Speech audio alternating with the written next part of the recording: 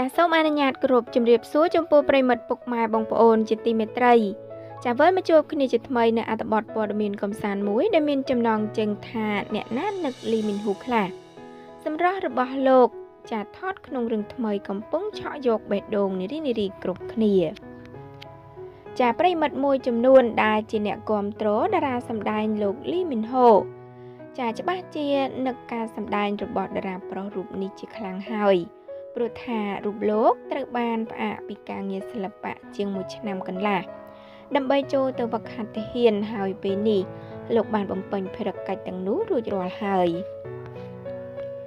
យ៉ាងណាមិញពេលនេះការទន្ទឹងរង់ចាំនៅការវិលត្រឡប់របស់លោកលីមីនហូចិត្តមកដល់ហើយដោយរូបលោកបាននឹងកំពុងថតរឿងថ្មី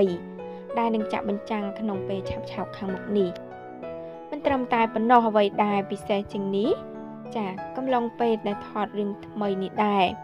រូបថតជាច្រើនសញ្ញារបស់លោកលីមីនហូកំពុងតែ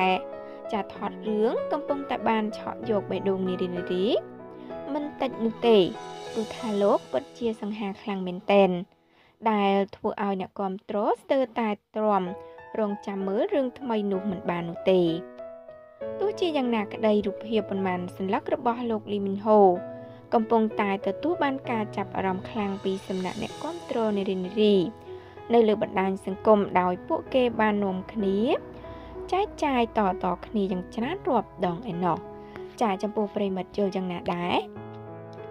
ចាអញ្ចឹងតកតងនឹងអត្ថបទព័ត៌មាននេះដែរក៏សូមបញ្ចប់តែត្រឹមប៉ុណ្្នឹងចាសូមអរគុណបងប្អូនទាំងអស់គ្នាចាជាចុងក្រោយសូមជួយចុច Subscribe និងសញ្ញារូបកណ្ដឹងដើម្បីទទួលបានព័ត៌មានថ្មីៗ ជារៀងរាល់ថ្ងៃពី Channel នេះខ្ញុំផងដែរចាសសូមអរគុណសូមគោរពលា